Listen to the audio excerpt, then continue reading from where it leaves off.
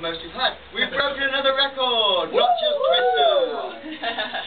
hey, so Simon and Carmel, how is your festival going? Oh, it's fantastic. Yeah, a bit muddy, but yeah, yeah. yeah, got muddled down Yeah. here. Oh, but, no. Uh, yeah, sorry, so, yeah, I'm ruining your studio here, so I'm sorry about that. But uh, yeah, yeah, no, it's great.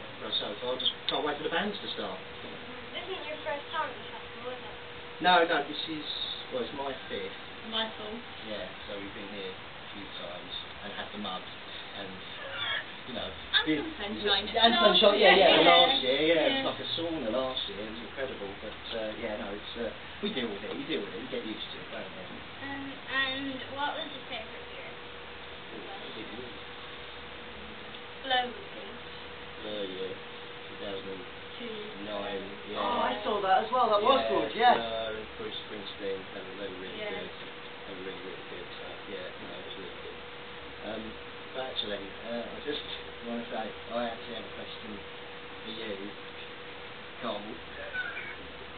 Um, you remember last week when I said to you, um, if I was to have a pop question